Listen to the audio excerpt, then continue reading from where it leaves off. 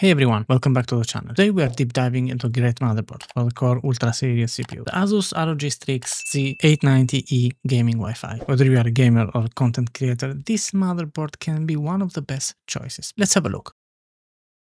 Alright, first thing first, let's check what we have inside the box. Here we got the motherboard itself, we'll get in a minute to check all the details and the specs. Here we got some stickers, some manuals, if you are building for the first time on this motherboard or if you are building for the first time at all this might be useful for having a view on where you can find all the connectors and everything else. And here we have the keyring and we have some screws for mounting all the SSDs this motherboard have seven SSDs we will talk about that later. And we'll have also some pads for the SSDs zip ties SATA cables and the Wi-Fi antenna. So that's all. Let's get to the specs of the motherboard. This motherboard supports Intel latest LGA 1851 socket and you can install only the new Core Ultra processors here. As we can see here we have four DIMM slots supporting up to 256 gigs of RAM and it goes up to 9000 megatransfer per second. Power delivery is handled by an 18 plus 2 plus 1 plus 2 base VRM setup and this can be helpful if you want to overclock your CPU and it will do that without any issues. Cooling of the VRM is really impressive with these two heat sinks here and here it's, it's also a pipe for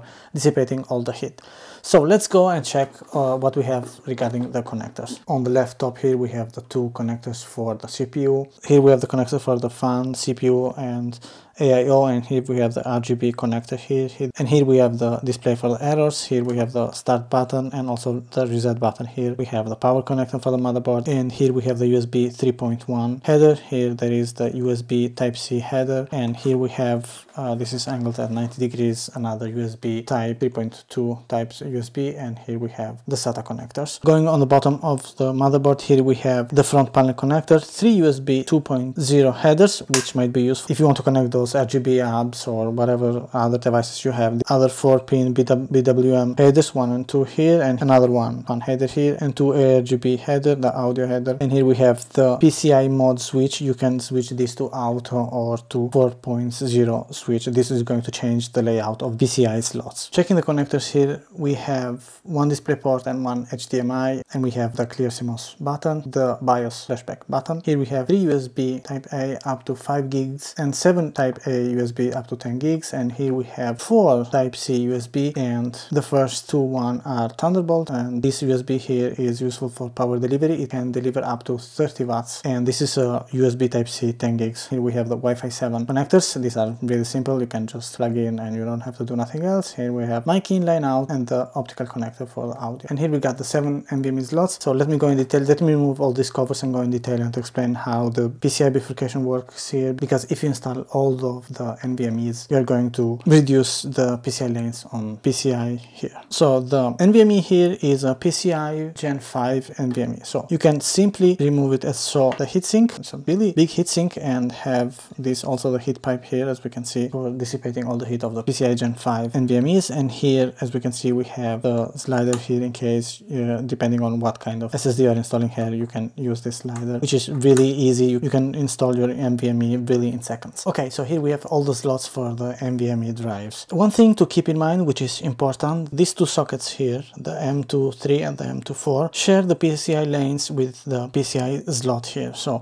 whenever you install NVMe drives here, this will reduce the speed of this one instead of 16, but it, it will reduce it to 8 lanes. So my suggestion is you can install an NVMe Gen 5 here, which is going to be maybe your main NVMe or whatever. And you can uh, install the NVMEs on these slots here. You have one, two, three, four slots as we can see here on these four slots these are PCI Gen 4 slots. So whenever you install these slots here you don't have any issues uh, the speed of this one will be full of uh, PCI Gen 5 now if you install only one of the drives here it will reduce the speed of this PCI slot here to 8 instead of 16 and the same thing also with this one. If you want wish to install maybe some other devices here it will reduce again the speed here on 8 lanes. So my suggestion is if you don't need nothing to install here here, just install your GPU here, your main drive here, and you can use all the four slots that are going to be available, that are going to be free here, and you can use it for games or data or whatever else. One important thing is that whenever you install the, your NVMEs, just remember to peel off these plastics here, otherwise you are not going also on the heatsink, otherwise you're not going to dissipate properly your drives. With that said, let's go into the BIOS and check some settings and some features that these motherboards have. Right guys, here we are into the BIOS. We can go and tweak a couple of settings here. The first thing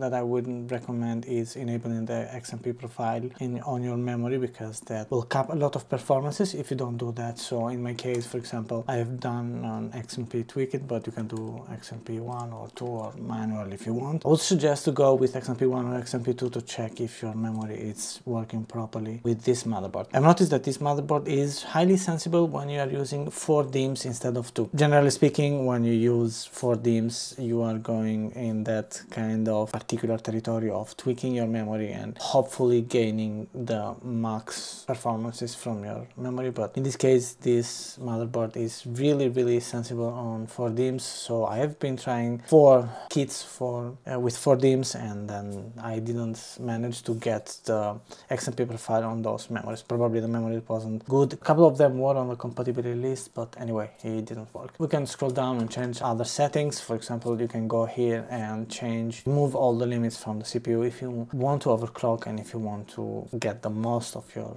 CPU. But overclocking the new Intel Core Ultra CPUs will be topic for another video. So if you guys want to see that video, subscribe, hit the like button and enable notifications so you guys can check also that video too. And if you scroll down, we have all the stuffs related to efficiency core, to performances cores. We can change the DRAM timing control. We can do a lot of stuffs here. You can go also in advanced and change um, a ton of stuffs here. PCI subsystems, resizable bar should be enabled by default. But, but anyway, go and check this and you can change other settings. You can also monitor the temperatures. You can check the fan speeds. You can change the fan, the QFan configuration on whatever it's it fits best for your needs. One thing I would suggest you guys if you go here to the monitor uh, QFan configuration and if you set this one to CPU package is somehow the sensors when you are using those kind of those tools of monitoring CPU temps and so on this will be a little bit more precise on monitoring all the temps on your CPU. Alright here we are at the end of this video. Let's break down some pros and cons. As a pro I would say a really amazing power delivery for overclocking without any issue. It has an extensive storage options with 7 M.2 2 slots. It comes with a great connectivity, Wi-Fi 7, Thunderbolt 4, and a lot of USB ports, USB Type-C, Type-A, whatever. And you have a really amazing BIOS. You can customize every setting. As a cons, well, the first thing is the price. This motherboard costs around 500 to 600 USD, and that is a lot for a motherboard. Considering the price, this motherboard